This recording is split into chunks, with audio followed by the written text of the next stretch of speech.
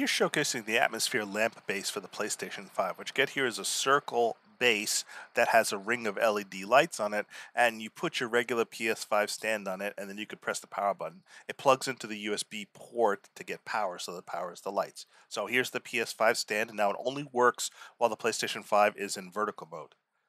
So here it is plugged in and I have it tapped to one of its cycling color options. Here's how it looks in the base without the PlayStation 5 on it. Obviously you just slide the PS5 stand in just like this and then you're going to pick up your PlayStation 5 and then put it on this atmospheric base. So let's do that next. All right, Setting the PS5 on the base itself, you could see the base just goes on normally with the back of the base locking into the back of the PlayStation 5 for stability.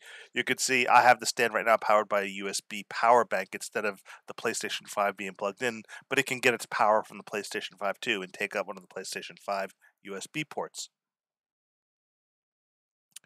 You can see the various color options. When you first power it on, it'll cycle through the colors, and then you could press the power button on its side to have it kind of do uh, these ropes that kind of like span from left to right and right to left.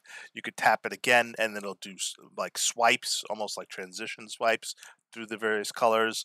And then here's another faster type of swipe. And then, of course, you have the multicolor cycling, which is almost like a carousel where it just rings around all the different colors. So those are pretty much the, the patterns that it has or off that you could cycle through. But again, it's pretty bright. It gives a little bit of an ambient lighting to the bottom of your PlayStation 5.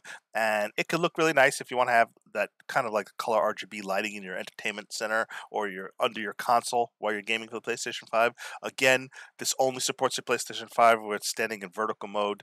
The reason is because if you put the PlayStation in horizontal mode, the PlayStation completely obscures and hides the ring. So you can't really see the ring light at all if you put the PlayStation in horizontal mode on top of the stand. It won't let you see the lights. It defeats the purpose. So to really take advantage of seeing the colored lights, you need to have the PlayStation in the vertical mode.